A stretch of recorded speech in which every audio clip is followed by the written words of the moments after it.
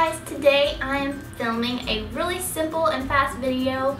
I'm to show you guys how I do my messy bun. A lot of you guys commented on my last Instagram that I posted and wanted to see how I did my bun, so I figured I would get on here and film it for you guys. It's so fast, it's so easy, and I feel kind of weird making a video about it just because it's really easy and you guys are probably to be like, uh, duh. Just figured that I would film it for you guys since you wanted to see it. So if you want to see how I do this bun, then just keep watching.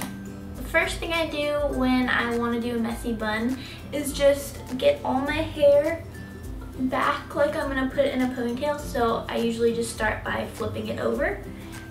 And then I have something that looks like this just like put it up like you're gonna do a high ponytail. Make sure you have all the little flyaway pieces because I always forget those pieces in the back sometimes. And then what you're gonna do is just twist your hair. So I have a whole lot of hair, if you can see, but I just start at the bottom and then just twist it. And I always twist it to the right. That was kind of confusing. I twist it to the right usually. You have all your hair twisted up and it kind of looks like a Play-Doh snake or something. You just kind of keep twisting it, but put your hair down like at the top of your head and then just start twisting it around itself. And then you have your little bun. So just secure that with your ponytail holder I usually just wrap it around twice. Then you have something that looks like a little donut on your head. and then at this point, I just pull out these little hairs that I have.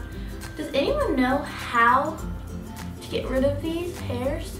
Why so small? Why so small? that's pretty much how I get just my messy bun and you can see that there is hairs popping out everywhere and in the back, there's probably lots of bumps and weirdness happening. But if you wanted to make it neater, you could use some, you could use some bobby pins. And see I have a big bump right here. So you could just use a bobby pin. And bobby pin that big back. If you didn't want any big old bumps. I always have this bump in the back of my head. I think it might be like a cowlick or something, but I always have it. But I never really pin that back because hmm, you can also take one of these. It's like a little wire headband. And I got this from, where did I get this from? I got this from American Apparel, I think. So I would just put it like this in my hair and then just twist it around itself. And then just twist it. And then it's a little accessory for your hair so it's not such a boring messy bun. And you can make it a little bit more spicy. so that is how I do my messy bun. I hope that you liked this video and I hope that it was helpful. If you guys want to see any other hairstyle videos, just leave them in the comments below. Oh yeah, and I'm really excited to let you guys know that now I am going to be posting a video every single week.